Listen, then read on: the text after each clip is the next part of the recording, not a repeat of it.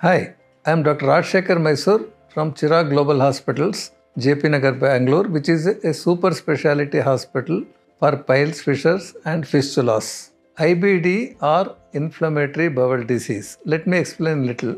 Inflammation is body's response to any injury, whether it is by bacterial, viral, or some other injury to the body, body responds with inflammation. So, if the inflammation is happening in the bowels, it's called inflammatory bowel, and that is a disease. So, inflammatory bowel disease is inflammation happening inside the bowels. Bowels is intestines. So, in that, infective conditions are excluded because they are separate. Bacterial inflammation, we call bacterial infections, amoebic infection, different infections are different. In this IBD, it is our own body's uh, immune system attacking our own intestines. So, in that, there are two different varieties. One is called Crohn's disease, the other one is called ulcerative colitis.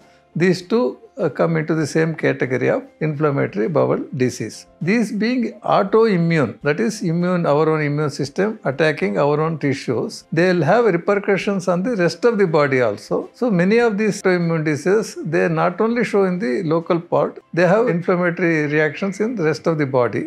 So that has to be treated as a whole. So whenever we treat autoinflammatory or autoimmune diseases, we treat local causes and local symptoms and all. Apart from that, we have to treat them more uh, vigorously to suppress the immune response. So there are different uh, methods of uh, doing it. So IBD is a serious issue, but if you take care of it properly, regular follow-up with gastroenterologists and all, and rarely surgical interventions will be needed. So if it is maintained well, they can lead almost normal life, but it should be taken seriously and patient should have interest in his disease. It's not like any other disease. You take some treatment, stop in between. Please don't do that. The message on the IBD day is take IBD seriously, but don't get depressed. There is treatment for it. Some of them also can be cured. Most of them will have to be maintained for a longer term.